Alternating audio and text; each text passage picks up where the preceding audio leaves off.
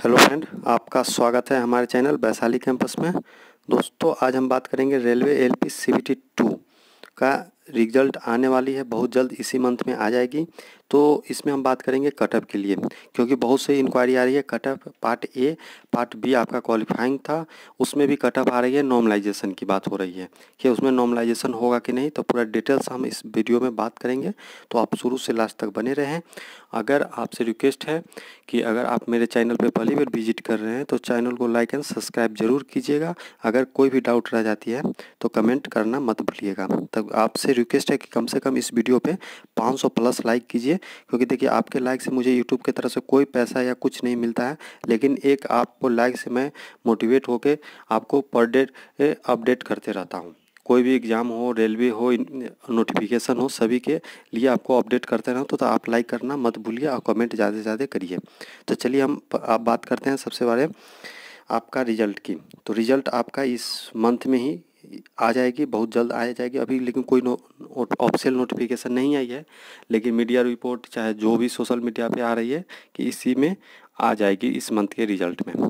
आपको बता दूँ कि एक सोशल मीडिया पे एक स्टेटमेंट अति हो रही है कि नॉर्मलाइजेशन नहीं होगा, पार्ट बी में या नॉर्मलाइजेशन के लिए सेम सिलेबस चाहिए।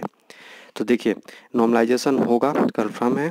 तो देखिए सेम सिलेबस की बात है तो आपके ट्रेड में कंपेयर करके नॉर्मलाइजेशन होगा, जिसका मैकेनिकल है। तो मैकेनिकल के मान के चलिए, या दस शिफ्ट हुआ होगा, या नौ शिफ्ट हुआ होगा तो नौ शिफ्ट में ही करके नॉर्मलाइजेशन किया जाएगा। तो नॉर्मलाइजेशन कंफर्म है। तो आपके लिए सबसे खुशखबरी उस स्टूडेंट के लिए है, जिनका शिफ्ट दस शिफ्ट हुआ है टोटल एक कैंसिल लेके तो दसों शिफ्ट में अगर जो पेपर हुआ होगा, उनको ज़्यादा मैक्सिमम नंबर इंक्रीज होंगी पार्ट बी में। देख लीजिएगा। अगर जिनके, मान के चलिए चार शिफ्ट या पाँच शिफ्ट में एग्ज़ाम हुआ होगा तो उसमें उतने नंबर इंक्रीज नहीं करेंगे, जितने इसमें दस शिफ्ट में नंबर इंक्रीज करेंगे।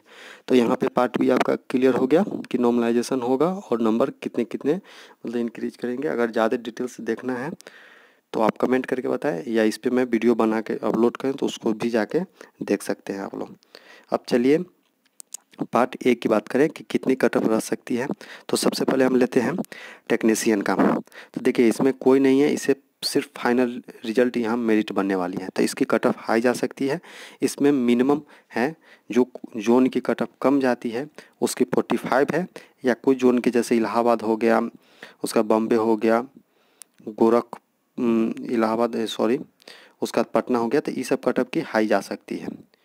तो देखिए, यहाँ पे मैक्सिमम मिनिमम है। और बात करें O B C S T की तो आप इसके अनुसार से आप अपना अनुमान लगा लीजिए कि आप सेफ़ है या नहीं। ये है आपका रॉ मार्क्स नॉर्मलाइजेशन मार्क्स नहीं है। रॉ मार्क्स है, इसके बाद नॉर्मलाइजेशन होगी तो इसके बाद आपकी नंबर ज़रूर बढ़ेगी। अब बात करते हैं हम लोग कि देखिए, यहाँ पे आपका फाइनल मेरिट लिस्ट बनने वाली है।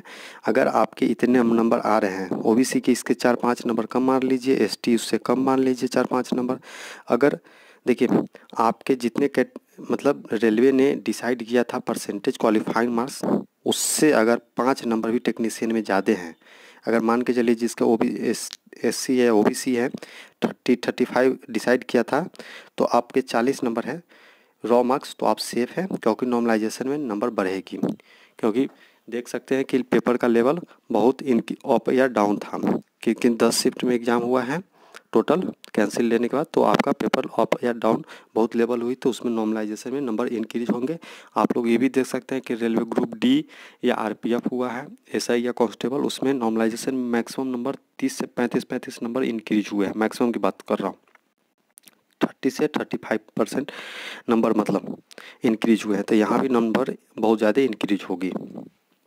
तो चलिए अब बात करते हैं हम लोग एल पी एल पी के लिए जनरल की बात मैं सब वीडियो में बता रहा हूँ कि मिनिमम कटअप रहेगी क्योंकि इनके आठ गुना साइको के लिए बुलाना है अभी। तो इनके यहाँ मिनिमम कटअप जो क्वालिफाइड रेलवे ने डिसाइड किया था क्वालिफाइड जितने भी परसेंटेज उतने ही कुछ जोन की और कुछ जोन में थोड़ी मोड़ी हाई जा सकती है। तो मिनिमम मैंने चालीस से फोर्टी सेवन रखा हूँ मैक्सिमम तो इतने के बीच में अगर हैं O B C S T की बात करें तो वो अपने परसेंटेज जितने डिसाइड किए हैं मिनिमम वो से अगर ऊपर हैं या उसके बराबर भी है तो आप लोग सेफ़ ज़रूर हैं, क्योंकि साइको के लिए आठ गुना लड़के बहुत होती है, आठ गुना। तो समझ सकते हैं, जितने फॉर्म अप्लाई किए हैं जो बहुत के पार्ट भी क्लियर नहीं हो, उसमें कुछ छटेंगे, किसी ने अपियर नहीं हो, उसमें छटेंगे, बहुत सारी समस्या आ जाती है। तो वहाँ वहाँ लड़के खुद छट जाएँगे तो आठ गुना यहाँ से सिलेक्शन लेनी है। तो आप लोग यहाँ से देख सकते हैं। तो इनके आठ गुना इनके बाद इनके सत्तर परसेंट ये सी बी टी टू और तीस परसेंट नंबर आपका साइको से ऐड करके फाइनल मेरिट लिस्ट बनेगी। तो यहाँ से आप लोग देख सकते हैं। अगर कोई भी डाउट है तो कमेंट करना मत भूलिए। अब बात करते हैं हम लोग पीसीएम की। तो देखिए पीसीएम की कट ऑफ़ हाई जाएगी क्योंकि नंबर ऑफ़ सीट सबसे बड़ी वैकेंसी कम थी और लड़के नंबर ऑफ़ ज़्यादा मैक्सिमम थी, सबसे ज़्यादा मैक्सिमम हर जोन में। तो देख लीजिए, यहाँ मिनिमम कट ऑफ़ रहेगी। रॉ मार्क्स बता रहा हूँ सिक्सटी नंबर है और maximum seventy five seventy five उस जोन के लिए जहाँ पे कट ऑफ़ हाई जाती है, आप लोग हर बात कर लो, इलाहाबाद हुआ बम्बे हुआ, उसका चंडीगढ़ की तरफ़ हुआ तो ये सब कट ऑफ़ हर कोई भी एग्ज़ाम हो, उसमें कट ऑफ़ हाई रहती है तो वहाँ पे मैं बता दूँ। और इधर की है, गोरखपुर हो गई, साउथ में, या इधर पटना, मुजफ्फरपुर, जहाँ पे सीट कम है, यहाँ पे लड़के अप्लाई ही कम किए थे, वहाँ पे कट ऑफ़ कम रह, रहने की संभावना है। तो आप लोग ये देख सकते हैं फाइनल मेरिट लिस्ट पीसीएम की। तो इसमें नंबर ऑफ़ है तो इसमें डिप्लोमा वाले भी एंट्री करेंगे। आईटीआई जो अगर ट्वेल्थ किए हैं, वो भी एंट्री कर जाएँगे इधर। उसके उसका पीसीएम वाले खुद हैं तो इसलिए यहाँ पे मैक्सिमम नंबर ऑफ़ स्टूडेंट होने के कारण सबसे वजह ये है। अब बात करते हैं कि अगर आपका कोई भी डाउट है तो आप लोग कमेंट करना ज़रूर भूलें और चैनल को ज़रूर सब्सक्राइब करें। तो अगर आप लोग कटअप से संतुष्ट हैं तो मैसेज करके ज़रूर बताएँ और कोई भी इंक्वायरी है तो ज़रूर बताएँ, क्योंकि आपका रिज़ल्ट अब इस मंथ के बहुत जल्द आने की संभावना है, हो सकती है। अगले वीक जो स्टार्ट होगी वीक इस वीक में आने की संभावना है। तो आप लोग कमेंट करके ज़रूर बताएँ। थैंक यू नेक्स्ट अपडेट में आपसे जैसे ही कोई अपडेट आती है तो फिर मिलते हैं। Thank you so much